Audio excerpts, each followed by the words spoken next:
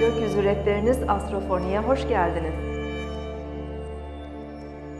Merhaba sevgili izleyiciler. 19-25 Ocak haftasına hoş geldiniz. Sevgili izleyiciler bu hafta gökyüzünde iki önemli olay var.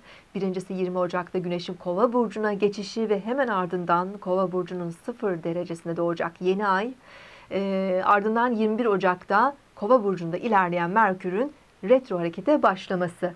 Evet Kova burcu yeni ayı toplumsal, evrensel konulara dikkat çekiyor. Özellikle geleceğimizle ilgili konulara bu dönemde daha fazla yoğunlaşabiliriz. İdeallerimiz, hedeflerimiz, projelerimiz gündemde. Arkadaşlarımız, sosyal yaşamımız, grup çalışmaları biraz daha bu yeni ayın enerjileriyle hareketlenebilir. Hava grubu burçlar Kova, Terazi, ikizler için çok destekleyici bir yeni ay. Ee, yay burcunda ilerleyen Satürn'den olumlu enerjiler alıyor.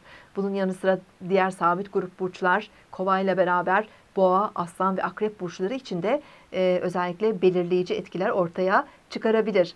Evet bir diğer önemli gelişme Merkür Retrosu ayın 21'inde Merkür Kova burcunun 17 derecesine retro harekete başlıyor.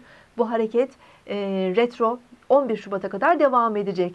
Merkür zihnimizi, algılarımızı, genel olarak iletişimlerimizi, e, günlük hayatımıza seyahatleri, e, eğitim, ulaşım, ticari faaliyetlerimizi etkiler.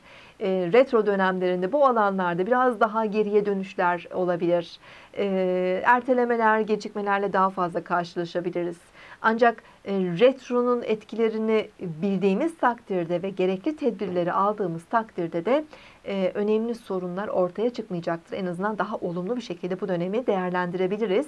Eski konularla uğraşmak, onları düzeltmek için aslında olumlu da bir dönem.